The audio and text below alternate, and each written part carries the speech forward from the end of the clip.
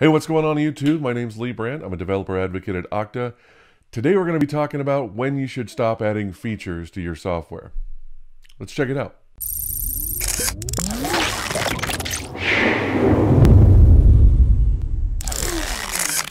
Okay, so when should you stop adding features to your software? Um, there's basically three three times we'll be thinking about for this. Um, one time is for the initial release of your product. Um, that's for me. I talk a lot about this with startups. Um, your minimum viable product is smaller than you think. Um, if you're developing a, a new product because you have a need, then it's simpler, right? You just develop it until it has everything you need in it, and then you may decide to release it later. Um, but if you're developing a new product, like you have an idea for a product that you think people will enjoy, um, generally the features are going to be less than you think. Um, mostly because, uh, look, I've been doing this for 30 years and I've been on plenty of teams where we're developing a new product and we're just spitballing ideas for features and nobody almost nobody has ever sat down and said should this feature actually go in the product? Um, nobody says that might be overreaching um, or that might be too many features. Um, a lot of the times people are just so excited to be working on a new project and a new product that engineers especially would just you know we're just spitballing oh and we can make it do this and oh we can have it do that and oh users can do this with it. Um, without thinking a lot about whether or not that should be part of the product release um, generally uh, minimum viable product is less than you think it is and we'll leave that there because i want to spend more time on um, on the third one the second one is for just a specific release. Like, how do I know when to stop adding features to a release? This is a little bit more simple, um, and there are steps that you can take to keep yourself on track. One is stack rank all the features that you think should go. So let's say there's 15 features that you want to put in this next release. stack rank them based on how much business value you think they add to your product. Um, and how much how many customer requests maybe you've gotten for those um, for those features now obviously customer requests should take higher precedent but um, once you've got them stack ranked then you can just estimate the effort needed to complete each feature. If you've got an established history it's easier to say hey um, if if we if we plug these in as large, medium, small, whatever, um, then we can look back at our history and say a large tends to take us about 10 days, a medium tends to take us about seven days, and a small tends to take us about two to three days. then I can go back through and say each one of these things is small, medium, large, and then come up with an overall idea how long I think it's going to take to get this whole thing done. So, little side note on estimation um, they're guesses. All engineers know this. They're guesses. One of the things that engineers don't realize, I don't think, is when business people go out and do projections, when they say that adding this feature will add 200K to our bottom line by the end of the year, um, those are guesses too. So just understand that everybody's guessing at the beginning. Enough said about that. Then you just work on each one of those features um, to completion. And when I say to completion, I mean all the code is written. It does what it's supposed to do. The it's all got tests around it to whatever your company's um, level of testing should be. If that's eighty percent or eighty five percent, whatever that is. Um, and they should have some documentation around that feature ready to go into the docs. Um, that that makes a completed feature. The reason is because if something happens and we have to release today, we can because we've completed the next feature, right? Even if we've only completed one feature, that feature is complete. it's done. It's got all the documentation and everything, so you don't have to go back. This also means that all along the way, 1 through 15, you can stop and release at any time. Because you even if you're halfway through, say feature 7, you can say, "Hey, we're going to release the first 6 features as the next release." Cool. Maybe um, a new trade show started up. I know in the time of in during the time this is being recorded, we're in the time of COVID, so there's not a lot of trade shows going on. But um, if there's a trade show that you want to show off a new release, um, then you can just say, "Hey, we're going to cut it off at feature six, and that's going to be the features that we release for the next release of our product, so that we can show them off at a trade show, or so that I can land a huge client. Maybe they're we're in meetings with a really big client, and one of the features in that six features is something that's a make or break deal for them, we can do a release right now and capture that business without having to worry about whether or not things are torn apart or you know we're removing things or things like that whether things are broken because that those features have been tested and documented. So if you release if you release on the original release date that you thought you were going to at 15 days are some of those features going to take longer than you thought? Yes. Are some of those features going to take less time than you thought? Yes. In a world of averages, hopefully, that means that all 15 features are done by the date you thought, because it all comes out in the wash. But in case they don't, um, let's say you're up to feature number 12. You're working on feature 12 right now, and you're getting so close to the release date that marketing wants to start marketing this new release. Um, I mean, that's their job, and that's part of the way your company stays in business. So it's got to happen. But the good thing is, you can release features 1 through 11. You can just stop production on feature 12, build a release with the first 11 features in it, and get it out there today if you needed to, right? Um, this makes this helps marketing have more confidence in the features that they're marketing in your product. Now, the other thing is if we get down to release day and we don't have all 15 features done, let's say we only got up to 12. We finished 12 and then we just didn't have we weren't going to have enough time to do 13, 14 and 15. Because you stacked rank them at the beginning, feature 12, 13 and four, uh, 12, uh, 13, 14 and 15 are the least important features. So it's totally okay if they don't make it into this release and they're put off until next release. So to me, that's how you know when to stop adding features to your software for release. Um, basically, when you hit your deadline. And as long as you're developing those features to completion with unit tests and documentation, then you can release at any point during that Maybe it's three months you set aside to do this next release. Okay, this is the one that I want to spend the most time on because this is the one that I've been thinking about it a lot over the last couple of years. And I don't know that I've come to a great conclusion. Um, and so I just want to put it out there and put my thoughts out there and may hopefully start a conversation because I, I think we need to have this conversation as an industry. And we've been having fringes of this conversation for a long time, but let's let's dive into it for a product overall. So you've you've got a product out there, a software product out there that's got customers, it's doing pretty well. Um, at what point should you say this product is fully baked? We're not adding any more features to it. Generally, in our industry, what I've seen is that usually happens when you're about to sunset a product. So we're not going to even have this product around anymore, which basically means that they're adding features to this software for its entire life cycle, which may be 10 years, right? So the problem is we all know, especially me as someone who does a lot of JavaScript developing, we all know, and it's kind of a running joke that since I started this video, there have been 15 JavaScript frameworks released.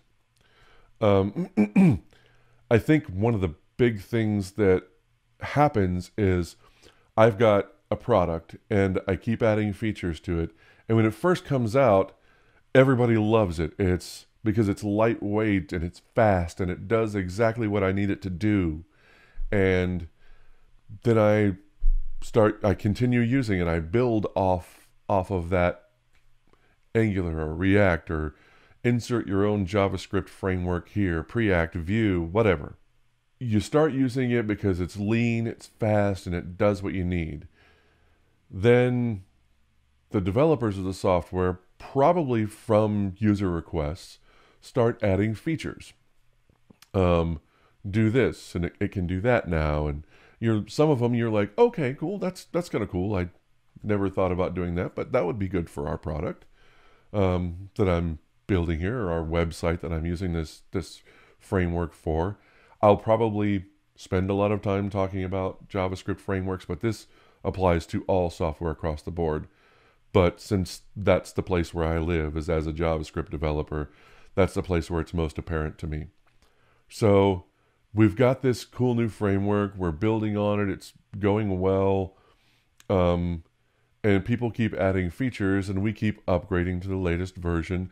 Some of the features we take advantage of, some that we don't.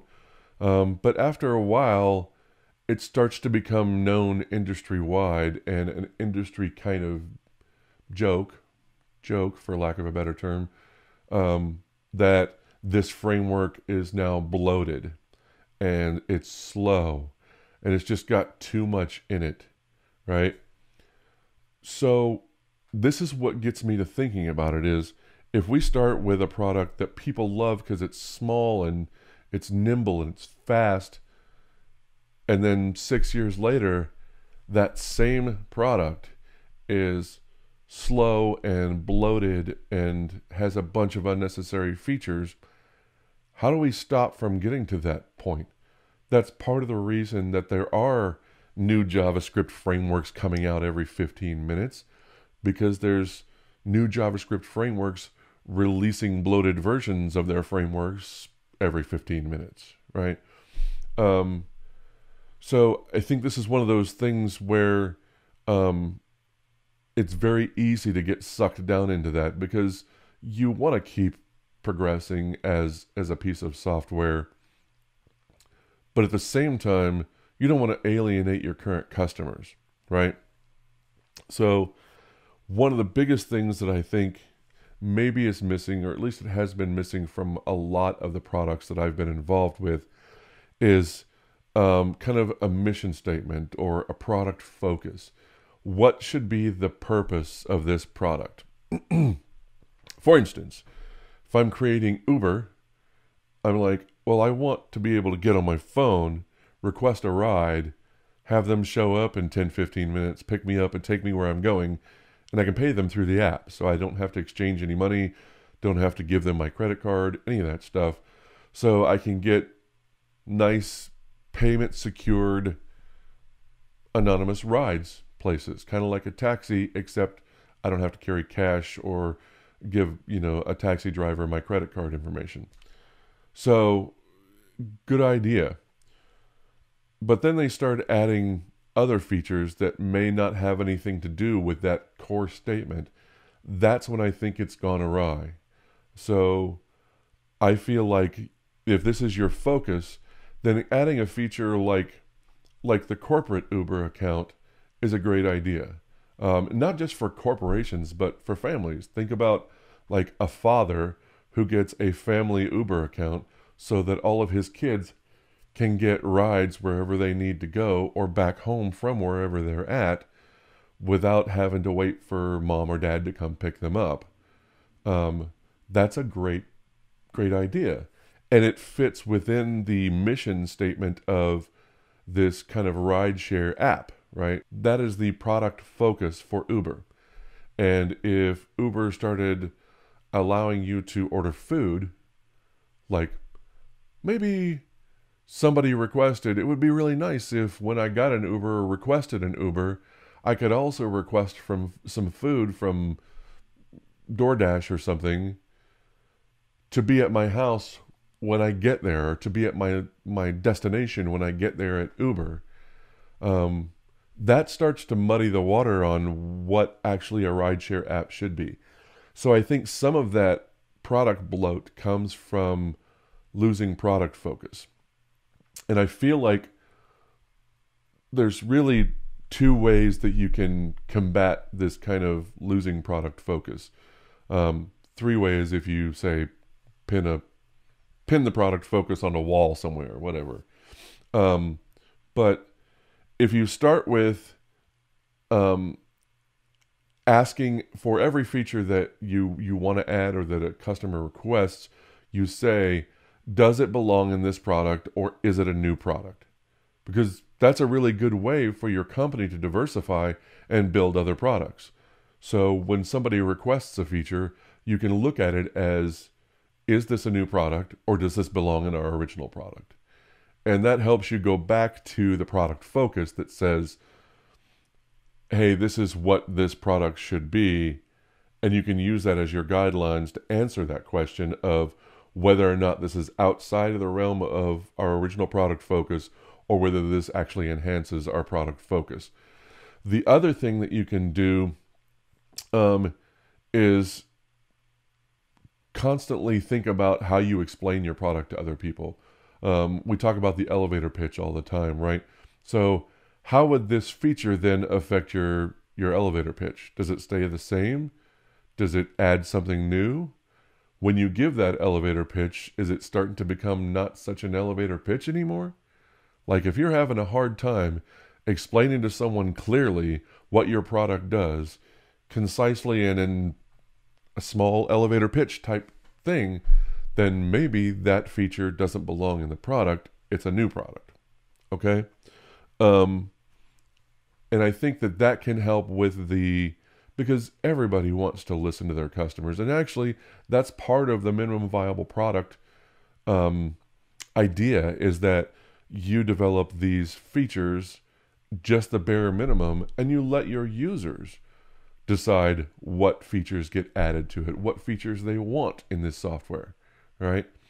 So it's easy to get mired in that if we get enough users asking for this feature, we're going to add that feature to the software.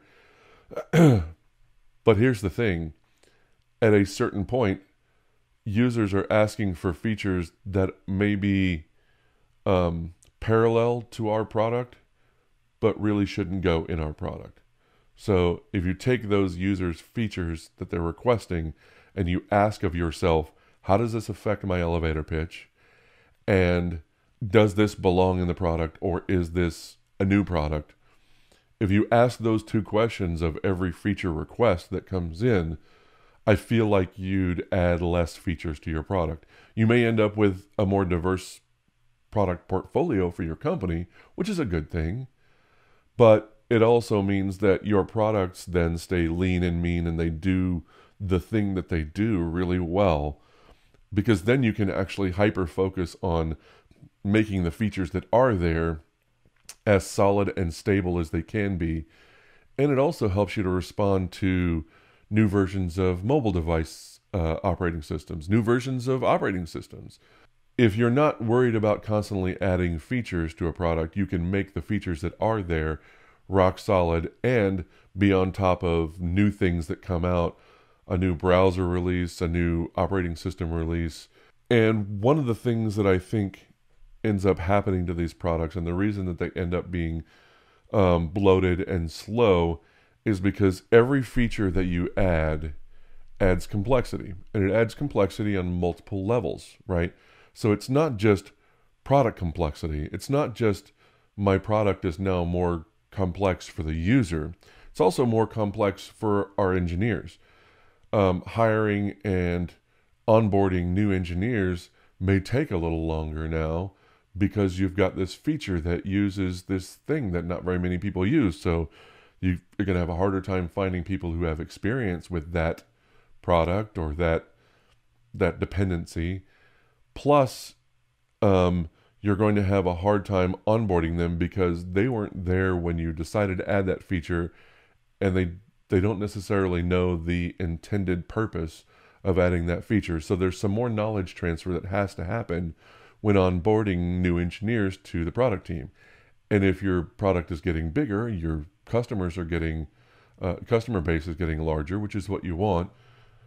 You're going to have to hire more engineers. So this kind of becomes um, a cyclical problem. You add more features, you need more engineers. You need more engineers, they add more features, um, that sort of thing. So then there's also organizational complexity that gets added. So not only are you adding more engineers, but you're also adding teams of engineers, right? So now all of a sudden you're breaking off the the team of engineers that are working on the admin side of your app and the team that's working on the the the customer facing part of the app. Or maybe it's broken down into an api team and a front end team. That happens a lot right? Um, maybe there's a team that works exclusively on a specific feature maybe it's a core feature of your business and you want to have core engineers working on that core part of your business because that thing's got to be rock solid but then you have other engineers who are working on new features or um, uh, what do they call it? Um, spiking, doing you know spikes to to try out some feature. Uh, maybe you have an engineer engineering team that do nothing but develop A/B tests for a feature, right? but it's not just engineering, right? Now you've got to add um, a product owner or uh, maybe a, a, a product uh, not a product owner, but a product project manager, right? So you need a PMO to manage the projects that you have going on, the features that you have going on. Um, maybe you need a design team to make this new feature look pretty. If you're developing websites, you may have a whole team that does nothing but front end design, CSS work. So adding new features means adding new team members and maybe adding new teams. So the organization becomes more complex as well which as a side note also leads to so we were talking earlier about bloat and uh, a piece of software being slow or being huge to download whatever it is this can be the same thing with your organization you have this many people in an organization it can be harder to respond to customer requests because you've got more people in the organization that are now fighting over what's a good request and what's a bad request um, what can be done, what can't be done, um, what's going to take a little bit of time, what's going to take a lot of time. So, responding to your customers and your customers' needs slows down because your organization has become bloated and slow. And it's because your software is your organization has be, has become has started mirroring your software, right? Um, there's also maintenance complexity or maintenance cost that goes every feature that has that gets developed has to be main, maintained by somebody probably more than some one somebody right so now you have teams of engineers that do nothing but bug fixes right um, you have uh, a ticketing system like jira or whatever to to manage and triage these bugs and and prioritize those bugs and fit them into a bug release that goes along with a feature release as well.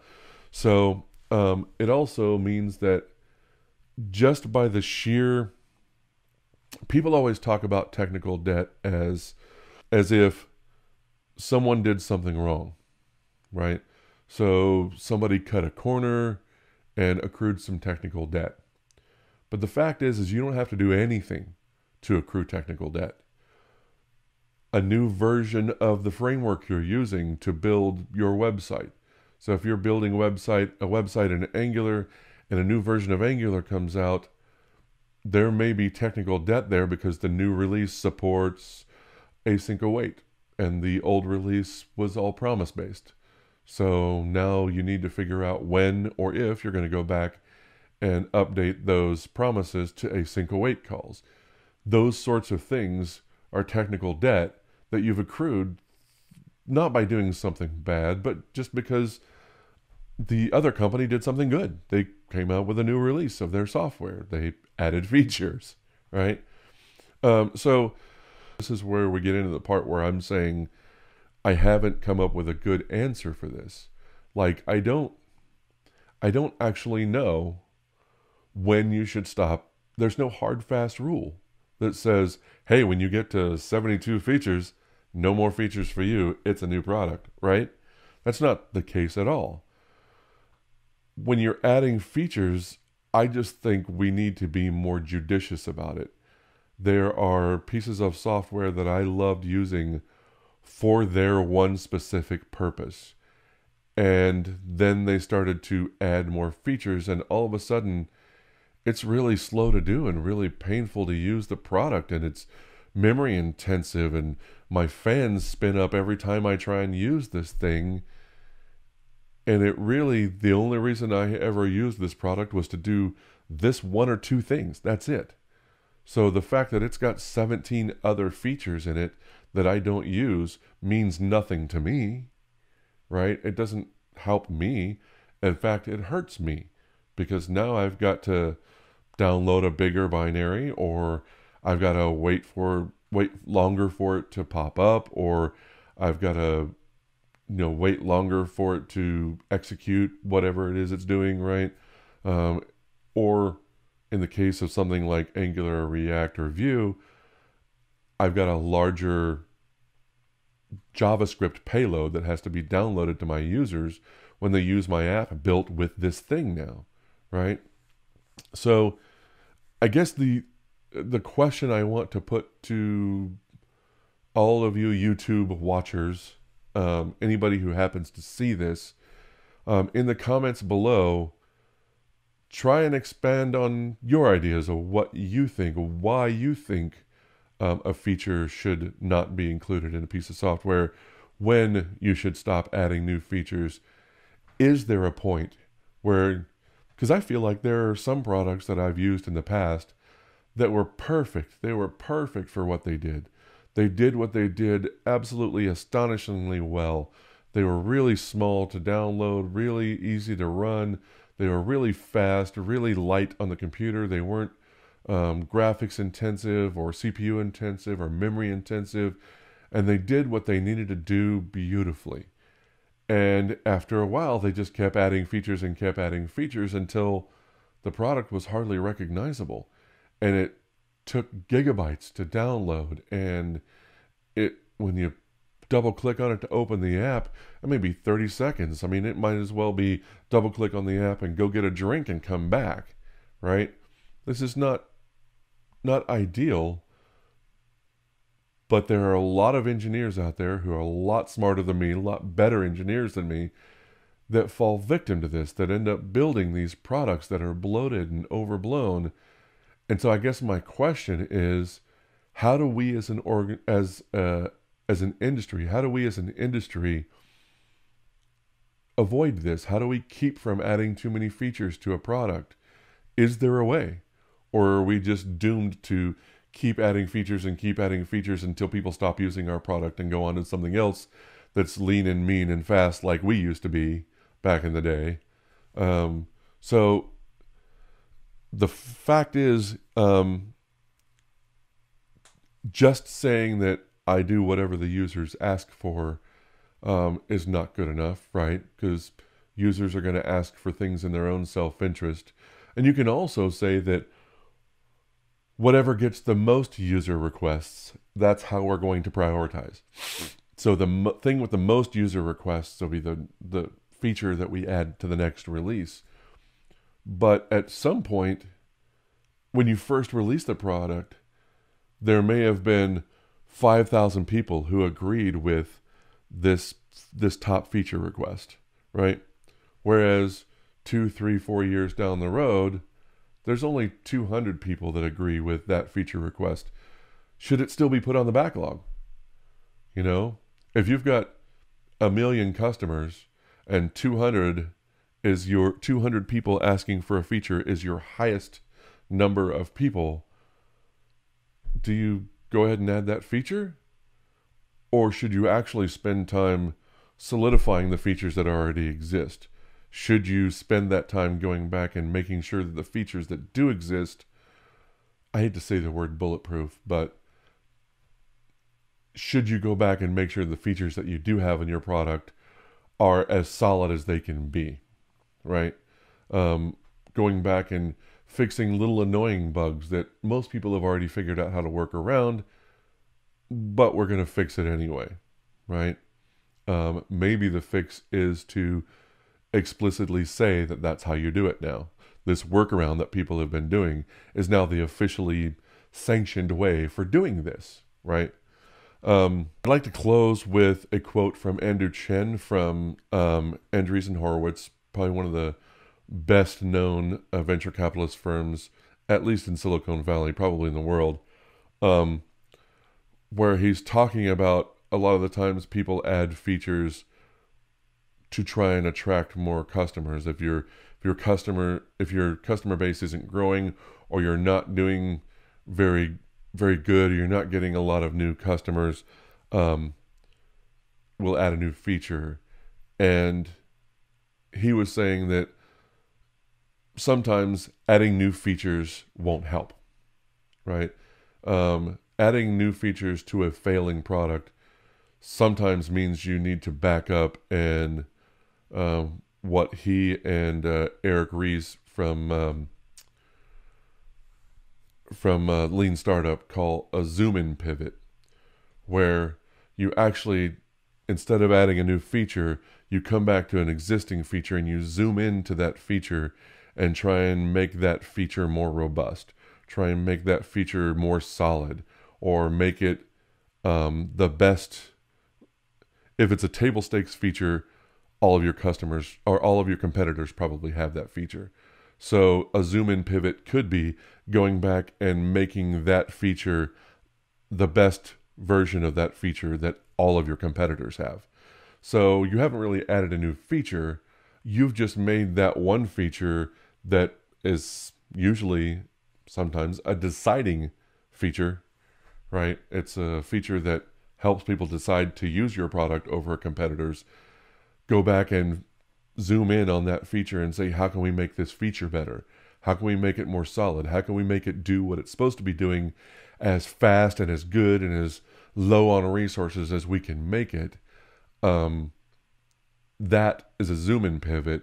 And it's one of the things that um, Andrew Chen talks about instead of adding new features, you can turn around and look at a specific feature and zoom into that.